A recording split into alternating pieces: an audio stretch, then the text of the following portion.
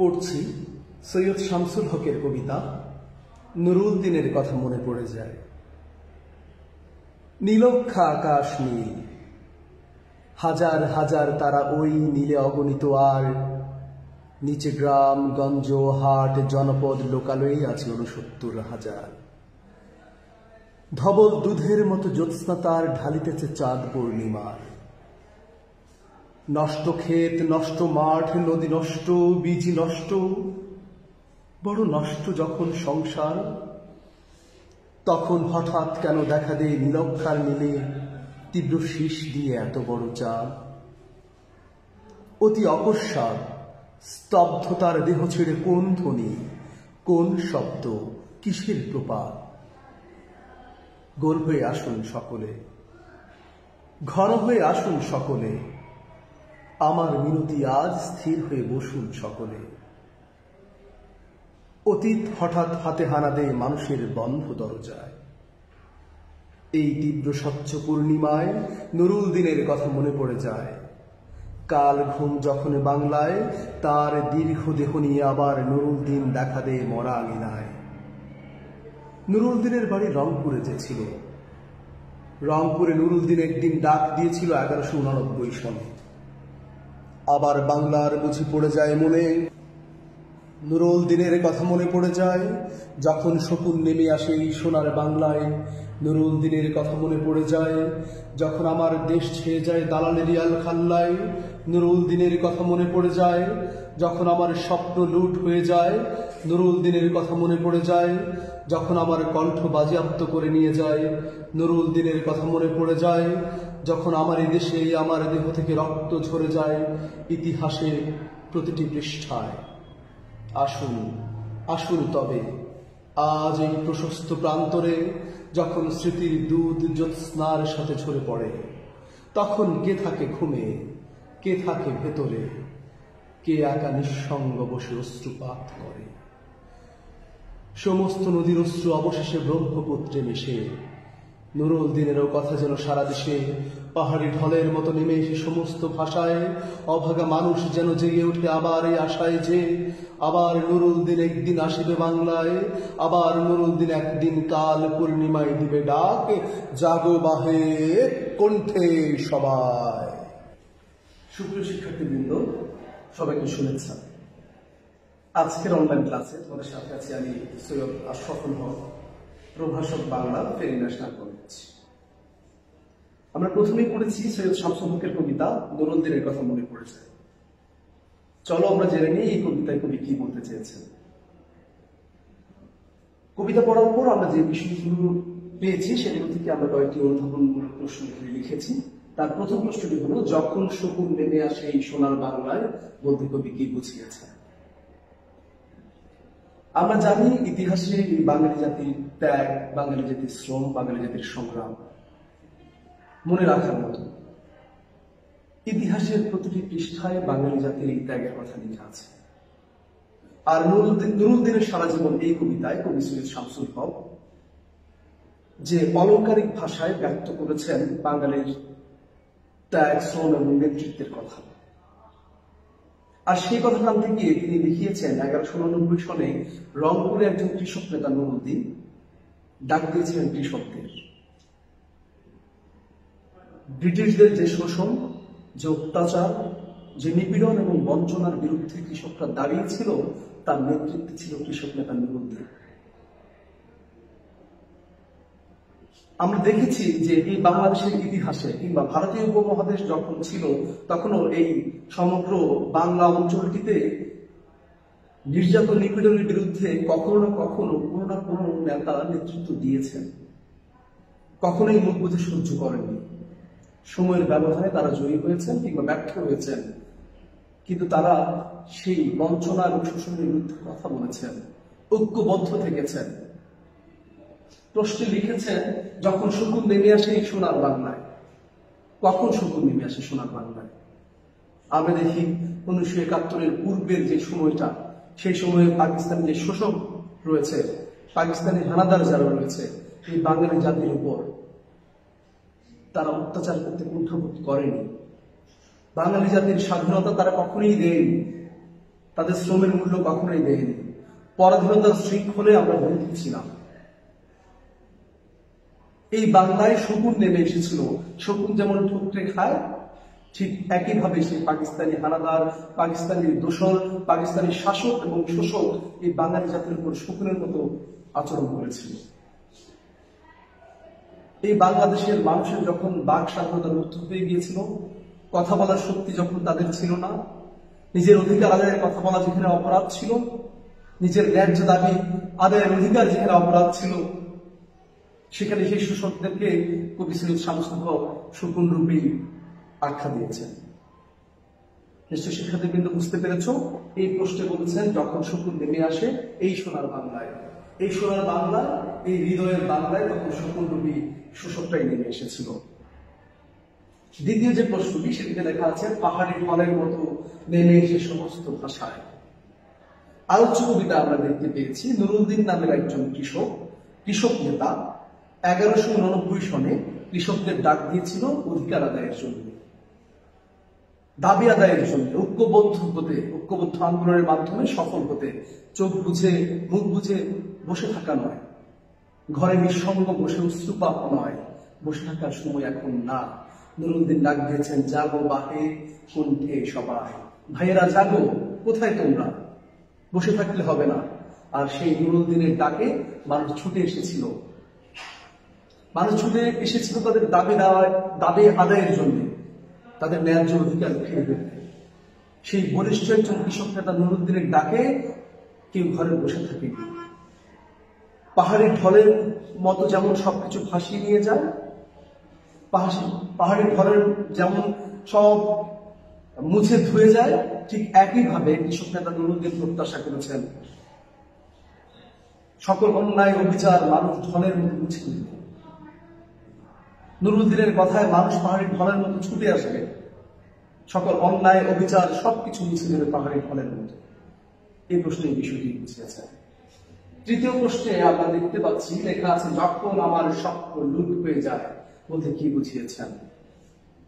এই বাঙালি জাতির অদম্য ইতিহাস এবং স্বপ্নের ইতিহাস, তারা যা স্বপ্ন দেখে, তাই পেতে চায়।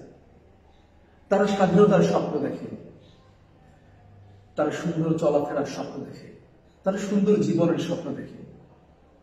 সেই স্বপ্নের উপর যখন কেউ পরাধীনতার শৃঙ্খল লাগিয়ে দেয়, তখন তারা সেটি মানতে পারে এই পাকিস্তানি শোষকরা বাঙালিদের উপর যে পরাধীনতার শৃঙ্খল বেঁধে রেখেছিল, সেই শৃঙ্খলের স্বপ্ন বাঙালি জাতি কখনই দেখেনি। তারা স্বাধীনতার স্বপ্ন দেখেছে, বুক ফুলিয়ে হাঁটতে স্বপ্ন দেখেছে। তারা দেখেছে এই সোনার বাংলার মাটি বাতাসে স্বাধীনভাবে বেঁচে থাকবে, বুক ফুলিয়ে বেঁচে থাকবে। কিন্তু পাকিস্তানের শোষকরা সেটি চায়নি। তারা চেয়েছে এরা পরাধীনতার কাষ্ঠায় বন্দী থাকুক, এরা গোলামের মতো থাকুক, আমাদের দাস হয়ে থাকুক। কিন্তু বাঙালি জাতির রক্তের দ্রোহ আর ত্যাগের ইতিহাস। তারা কখনো দমে থাকেনি, তারা কখনো সংগ্রামে লাগিয়ে বসে থাকেনি। সেজন্য বাঙালি জাতির স্বপ্ন, এই জাতির স্বপ্ন যখন অন্য কেউ পরাধীনতার শৃঙ্খলে বন্দী করে রাখে, তখন কেউ সেটা মানতে পারে সেজন্য কবি বলেছেন, যখন আমার স্বপ্ন লুট হয়ে যায়। আর সে যে প্রশ্ন, সেটাতে লেখা আছে নুরুদ্দিনের চরিত্রের সাথে বাংলাদেশের যে কোনো একটি চরিত্রের সাদৃশ্য দেখা আমরা যদি ইতিহাস দেখি তাহলে দেখব এই বাংলার ইতিহাসে অসংখ্য মহানায়ক বেঁচে আছে আমাদের হৃদয়ে। তারা মরেও অমর হয়ে আছেন তাদের ত্যাগের জন্য, তাদের সংগ্রামের জন্য, তাদের নেতৃত্বের জন্য। উনিশশো একাত্তর যে কাল রাত্রিতে পঁচিশে মার্চ রাতে নৃশংস হত্যা চালিয়েছিল বাঙালি জাতির উপর, ঘুমন্ত বাঙালির উপর লাশের মিছিল পড়েছিল তখন যদি নেতৃত্ব শূন্যই বাংলাদেশ থাকতো, তাহলে আমরা কখনো স্বাধীন হতে পারতাম না। বাংলাদেশ কখনো স্বাধীনতার স্বপ্ন দেখতে পারত না। আজকে আমরা স্বাধীন বাংলাদেশ বলতে পারতাম না, আমরা বাংলাদেশের স্বাধীন নাগরিক হতাম না। হয়তো সেই গোলামীর কাজটা করেই, গোলামীর মালা পরেই আমাদেরকে থাকতে হতো। আমরা শুনেছিলাম, এবারের সংগ্রাম আমাদের মুক্তির সংগ্রাম। এবারের সংগ্রাম স্বাধীনতার সংগ্রাম। আর সেই ডাকে ঝাঁপিয়ে পড়েছিল বাঙালি জাতি। আমাদের আমাদের স্পর্ধা, আমাদের দ্রোহ, আমাদের শক্তি অনেক বেশি। কিন্তু আমাদের নেতৃত্ব দেওয়ার মতো যদি সংকট হয়, তাহলে আমাদের ঐক্যবদ্ধ করবে কে? বঙ্গবন্ধু শেখ মুজিবুর রহমান ইতিহাসে একটি অনন্য নাম। যার বলিষ্ঠ কণ্ঠে ডাক দিয়েছিল হাজারো লক্ষ কোটি মানুষ। যার ডাকে সে পাকিস্তানের শাসকদের বিরুদ্ধে অস্ত্র ধরতে সাহস পেয়েছিল, অনুপ্রেরণা পেয়েছিল মানুষ। এবং নয় মাস রক্তক্ষয়ী যুদ্ধের পর হাজারো সংগ্রামের বিনিময়ে হলেও এই দেশকে আমরা স্বাধীন করতে পেরেছি। আর যদি আমরা লক্ষ্য করি, তাহলে দেখব সেই স্বাধীনতা স্বাধীনতা অর্জনের জন্য নেপথ্যে যিনি মহানায়ক, তিনি হলেন বঙ্গবন্ধু শেখ মুজিবুর রহমান। এগারোশো উননব্বই সালে নুরুদ্দিন যেমন ডাক দিয়েছিল কৃষকদের দাবি আদায়ের জন্য, কৃষকদের ঐক্যবদ্ধ করতে অনুপ্রেরণা জুগিয়েছিল, ঠিক উনিশশো একাত্তরে আমরা দেখেছি সেই মহানায়ক বঙ্গবন্ধু আমাদের অনুপ্রেরণা জুগিয়েছিল, স্বাধীনতা যুদ্ধে ঝাঁপিয়ে পড়বার জন্য মাথায় কখনোই এই দাবি আদায় হতো না। আমরা সুতরাং যদি একটি চরিত্রের কথাও বলি, তাহলে আমরা দেখতে পাই সে এগারোশো নব্বই সালের নুরুদ্দিনের মতো উনিশশো একাত্তরে বঙ্গবন্ধু শেখ মুজিবুর রহমান একজন বরিষ্ঠ নেতা। শিক্ষার্থীবৃন্দ, আশা করি আমি যে আলোচনাগুলো করেছি, সেই বিষয়গুলো তোমরা বুঝতে পেরেছ। এবার আমি সার্বিক বিষয়ের উপর আরেকটি কথা বলি এই যে নুরুদ্দিনের সারা জীবন কবিতাটি কবি সুপ্রসাচী কবি সৈয়দ শামসুল হক লিখেছেন, আমাদের ইতিহাস ঐতিহ্য চেতনার সাথে, কৃষক নেতা নুরুদ্দিনের যে আন্দোলন, সেই আন্দোলনের সাথে, বা রংপুর অঞ্চলের যে কৃষকদের আন্দোলন, সেই আন্দোলনের সাথে, স্বাধীনতা যুদ্ধের যে অসম সাহসী আচরণ, কিংবা নেতৃত্বের যে অসাধারণ নৈপুণ্য মিশিয়ে কবিতাটি লিখেছেন।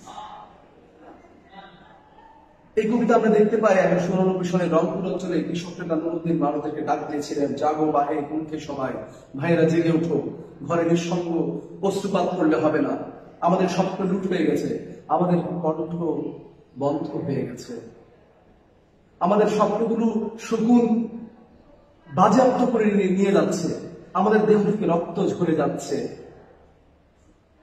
আমাদের স্বাধীনতা সার্বভৌমত্ব নষ্ট হয়ে যাচ্ছে, অধিকার আদায় হচ্ছে না।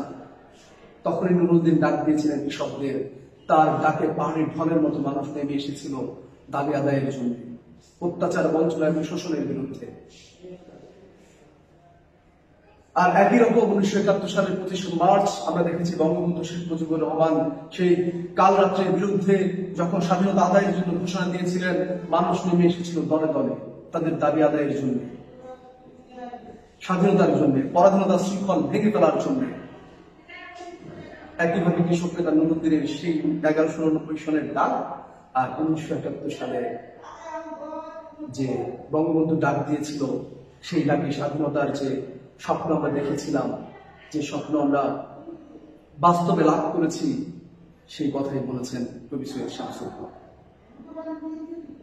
বসে থাকলেই কিন্তু সবকিছু পাওয়া যায় না। কিছু পেতে হলে কিছু দিতেই হয়।